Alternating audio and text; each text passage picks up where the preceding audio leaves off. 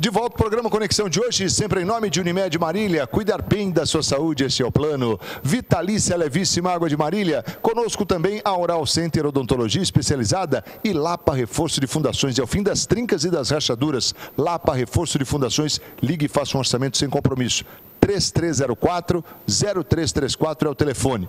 Programa Conexão de hoje batendo um papo aqui com o doutor Ivan de Melo Araújo, médico nefrologista, professor da Faculdade de Medicina de Marília, médico ah, coordenador pela, pela, pela medicina preventiva, de medicina preventiva da Unimed, e está aqui conosco para falar exatamente sobre a medicina preventiva ah, que a Unimed tem desenvolvido, ah, já retomando, na verdade, ah, esse segmento, esse setor lá ah, desde o início do ano, o doutor Ivan está lá no, no, comando desta, desta área da Unimed. E a gente mencionava aqui no último bloco ah, um pouco sobre a questão das gestantes e do estímulo realmente para que o bebê né, nasça realmente no, teu, no tempo dele, né, no momento adequado.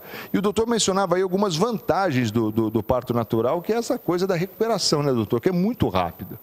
Exato, eu tenho um exemplo em casa. Minha mulher teve dois partos normais, né? E ela é, é bem pequenininha. Mas não teve medo, não. E as crianças nasceram muito bem. Eu me lembro muito bem que na, depois da, do nascimento da minha primeira filha, uma hora depois ela já estava embaixo do chuveiro.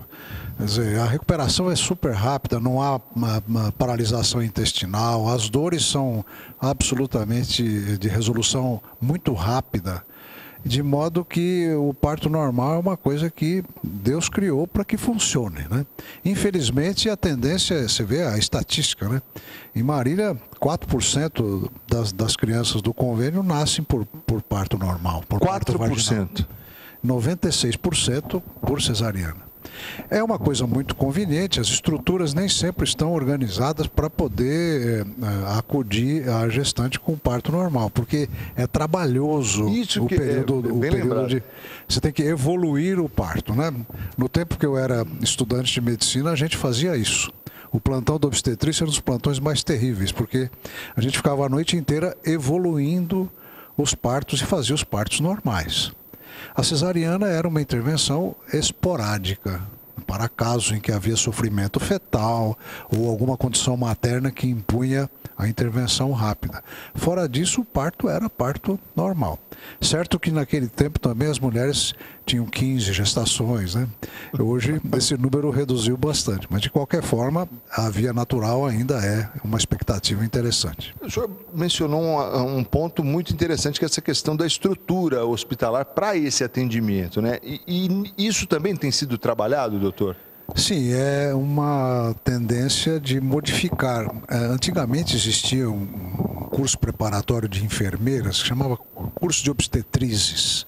As enfermeiras, muitas enfermeiras se formavam como obstetrizes e, e adquiriam um conhecimento sobre a evolução do período eh, gravídico, do parto e o período do puerpério que é, permitia que elas pudessem assessorar o trabalho do médico de uma maneira a criar condições dentro dos plantões médicos para que os partos pudessem ser evoluídos naturalmente.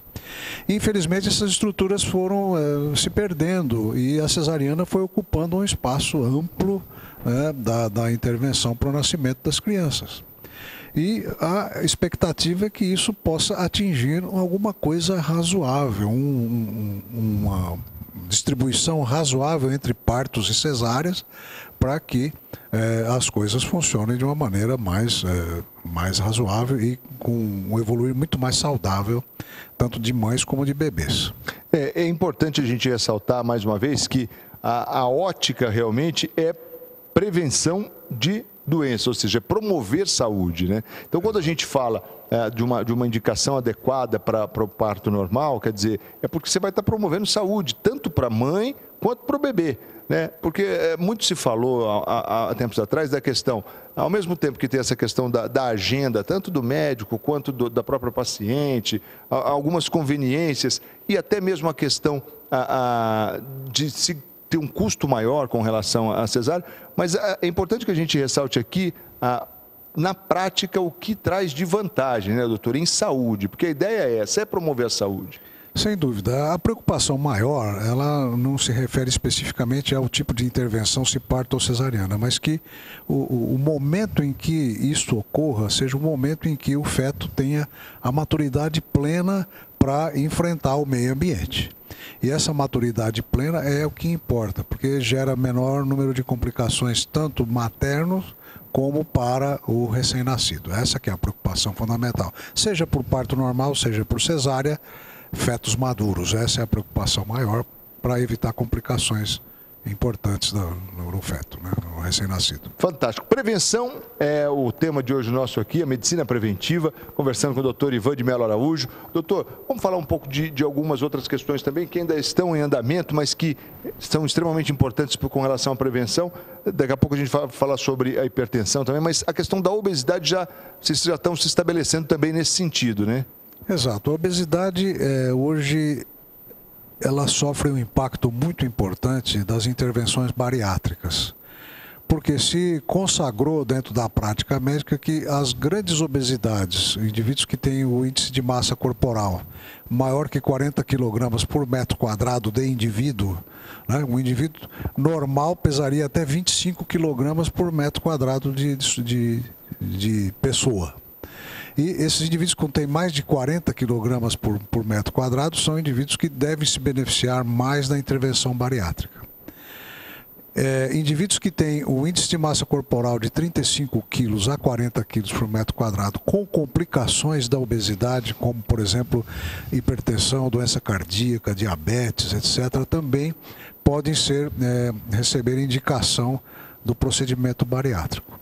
A nossa preocupação ela se volta mais para aqueles pacientes, é, para que os pacientes não cheguem às condições que exigem cirurgia bariátrica, que é um procedimento extremamente modificador do funcionamento do organismo é feito uma derivação ou uma redução do tamanho do estômago ou uma derivação do trânsito intestinal de maior ou menor grau, dependendo do grau de obesidade, e que traz uma série de eh, dificuldades no pós-operatório, tanto no pós-operatório imediato como também a longo prazo. É uma solução que cria um, um outro problema, que é o problema de um, de um intestino mais curto. Mas é uma solução que funciona para indivíduos com obesidade maior, obesidade extrema às vezes.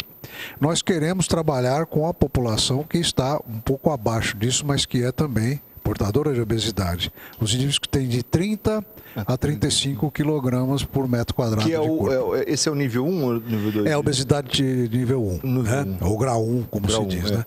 E essas pessoas podem se beneficiar de programas também de treinamento. E nós estamos também ultimando as estratégias, já temos uma lista de inscritos e ultimando as estratégias, acabando de formatar a estratégia para começar também no segundo semestre, agora depois das férias de julho, começar uh, a atividade com grupos também, com psicólogo, com terapeuta ocupacional, nutricionista, enfermeiro, toda uma equipe envolvida na, uh, no treinamento e na, na, no acesso às dificuldades que ocorrem quando a pessoa começa a reduzir o consumo de alimentos é um sofrimento semelhante àquele de largar de fumar. É verdade. Né? Porque, Quer dizer, e existe também essa equipe multiprofissional. É ali. a mesma equipe, é, com, com, pessoas já treinadas, já, já atuaram em programas de, de prevenção de obesidade. É, houve esse hiato, agora estão retomando essa atividade, vão, vão começar novamente, é, tanto na atividade física, como também na orientação nutricional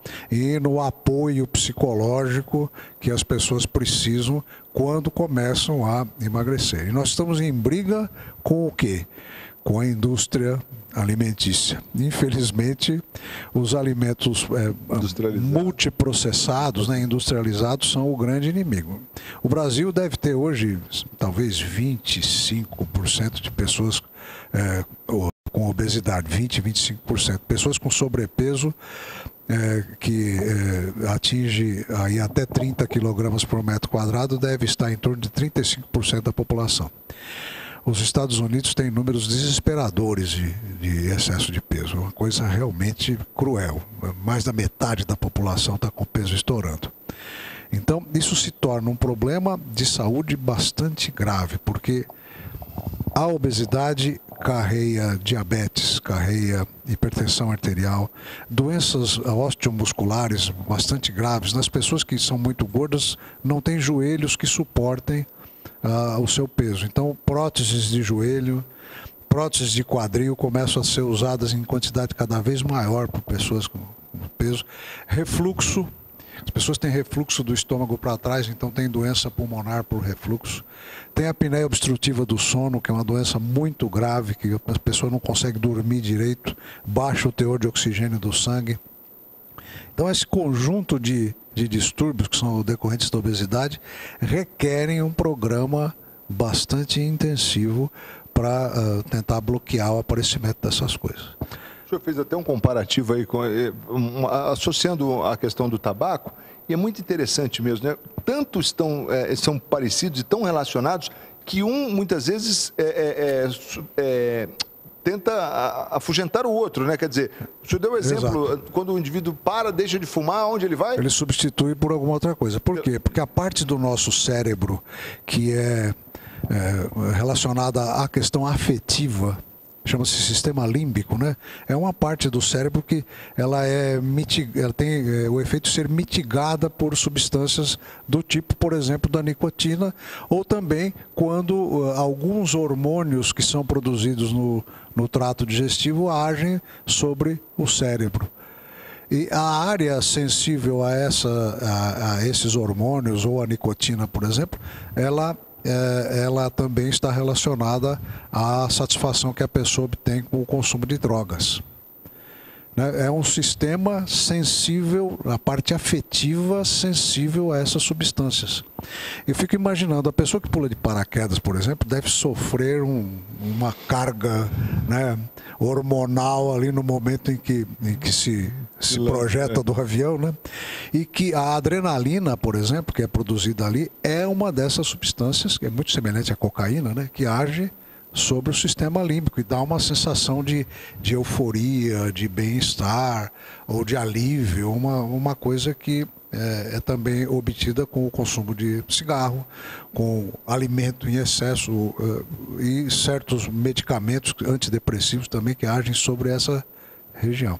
E a gente tem que ficar muito atento a essa questão da obesidade mesmo, doutor. O senhor usou um outro exemplo, o senhor disse que nos Estados Unidos o número chega até metade da população. É muito grande. E a gente é totalmente americanizado né, no nosso país. A gente segue é, muito a cultura americana. É, a gente segue esse tipo de modelos, né? E também o sedentarismo é uma coisa que vai cada vez mais se aprofundando. As pessoas substituem é, atividade física por redes sociais. Né? É, um, é um costume que está cada dia mais importante aqui no, no nosso país.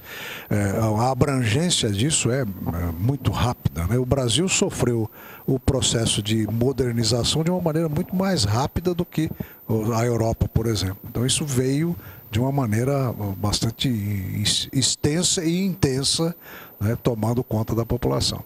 Esse programa, então, da obesidade, já no mês que vem, já deve estar... Sim, teremos já, já, já, teremos é, a possibilidade de começar a desencadear, tanto com atividade física, como também com programa de orientação e, e apoio.